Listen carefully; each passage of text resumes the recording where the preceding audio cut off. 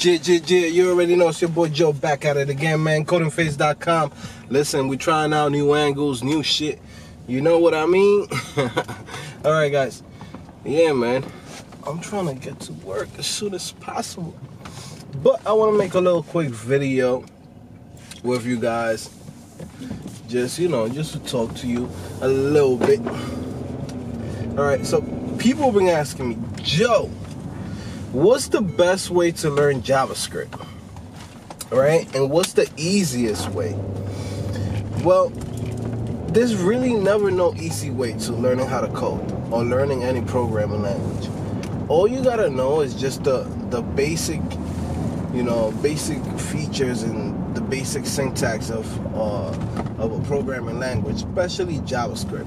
What you gotta understand, I think, which is like super important that people don't really realize. But it's like if you don't understand the DOM, if you don't understand how things are placed on a web page, you shouldn't learn JavaScript yet until you're very comfortable. I feel before you get to JavaScript, you should be comfortable with being able to target any element on a page and be specific as much as you can through CSS. Meaning, if there's a div, and inside that div, there's three divs, and then inside those three divs, there's, you know, three paragraphs inside of each one. Then how do you target the second paragraph inside of that, you know, of each div? How do you target that, right? If you don't know how to do that, or if you don't know how to Google it, if you don't know how to actually find out how to target that, then it means that you don't understand that much of the DOM. You don't understand how CSS works. So before you jump into CSS uh, to JavaScript, sorry, before you jump into JavaScript, learn that, right? And then from there, the next thing for you to learn, it would be to understand the basics. Understand what a variable is. Understand what a if and else statement is. Understand what a switch statement is. Understand what a loop, right? Then from there you gotta understand, you know, data structures. You know, strings, integers, uh, objects, lists, which are arrays. Um, yeah, once you understand those things, then you could go you know deeper into the programming language of JavaScript. But until you get those little points, there's really no need for you to go into deeper things. Like, you know, people want to jump into a framework right away. They're like, oh man, everybody talking about React. Every job is hiring about, you know, Angular and React. And, and it's like, you don't know the basics yet. So it's like you're jumping into something that you have no idea what it is about. You have no idea what's going on behind the hood. And one thing you got to understand these frameworks, they all bring a, a, whole bunch of new problems that the only way that you're going to be able to solve them is if you know the basics. If you understand, you know, the basics of data structures, the basics of objects, you know, and at least the basics of object oriented programming nowadays, especially with ES6. So, if you don't understand the basics of a JavaScript, you should not jump into a framework. Now, something like jQuery is different. jQuery might be the best op- option for somebody who doesn't know JavaScript. Meaning, if you don't know JavaScript and you're not that great, you know, manipulating the DOM, then I will say, hey, go ahead, use jQuery.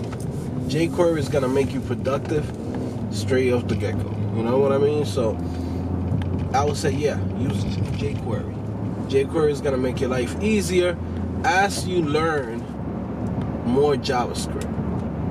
But don't think that just because you're using jQuery, that's it, you know JavaScript, because you don't. You know, it's just, it takes time, guys. This is like a numbers game. This thing no matter what you do, there's no cheat codes. There's no course that could say, "Hey, I'm gonna teach you JavaScript in 30 minutes." You know, shout out to the what's the guy's name? Dar- uh, was Derek Banas, whatever, Derek Banana, whatever. He his channel is fucking legit. I like it because I use it as a reference. I like to go to his channel, check out stuff like you know TypeScript or other um, programming languages that he has there, tutorials, and they're good. But just because it says, "Hey, you're gonna learn this in one hour," that's not the truth.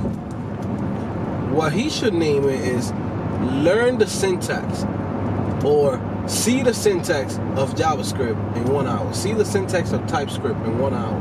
See the syntax of Python in one hour. Because there's no way that you're gonna learn Python or JavaScript or any other programming language in one hour. It's impossible. There's a numbers game. You just have to put in the hours. It's gonna take you a, a long time to learn all of these things. So if you want to learn this right away, and you say, okay, man, right now I'm to the point where I want to quit my job, I want to get the hell out of here. Well, the best thing for you to do is say, hey, I'm gonna study. If I get home at five o'clock, I'm gonna study from five o'clock to ten o'clock, so I could learn all of this stuff in one month or two months. You know, so if you do that and you're dedicated, you're gonna be able to learn this right away. But if you're thinking, oh yeah, I'm gonna learn this on my part time, whenever I have time, whenever I get to uh, stay home, whenever I, I don't want to hang out with my friends, if you're thinking like that, then it's gonna take you a long time for you to learn this thing. You know, so it's all about numbers, guys. It's all about the hours that you put. You know, it's like what they say. Um, was it once you put in your ten thousand hours, you know everything already. You know, so that's just how it is. You just gotta put in that work. Not be lazy, not not to think like, oh, I got there's gotta be a video out there that's gonna break it down for me I'm gonna learn it right away.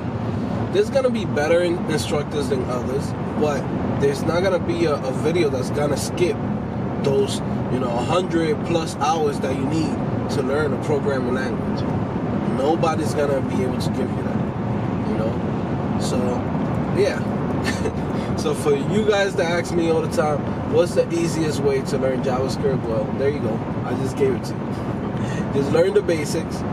You know, you could go through stuff like, you know, Codecademy just to learn uh, basic uh, syntax, right? And then, or even here on my own channel, I have a JavaScript tutorials there that teaches you all the basics, right? So you could do that, or you could go directly to one of the courses that I have. You know, of course, they, they're more uh, full feature, meaning like they're gonna teach you everything. They're gonna teach you from creating uh, a page to building interactive uh, menus, interactive uh, sliders, all of that stuff. You're gonna learn it. Even the back end, especially if you learn, uh, was it uh, Colt Steele's uh, web developer bootcamp. So it's up to you, right? It's up to you the, the way that you want to take it. But yeah, man, you already know boy Joe, aka I do this, aka your boy. Alright guys, make sure you subscribe, make sure you like this video, man. Make sure you share it to other people. Um, yeah, just keep it simple, guys, and just put in those hours. And like I always say, man, if you want to learn what tutorials, what courses taught me how to become a web developer. It's very simple. It's on my description. You will see all the courses there that I took. Of course, I've taken plenty of other courses, but these are the courses that I know that if you take it, they're gonna teach you everything. All right, guys. I'll see you later. 报。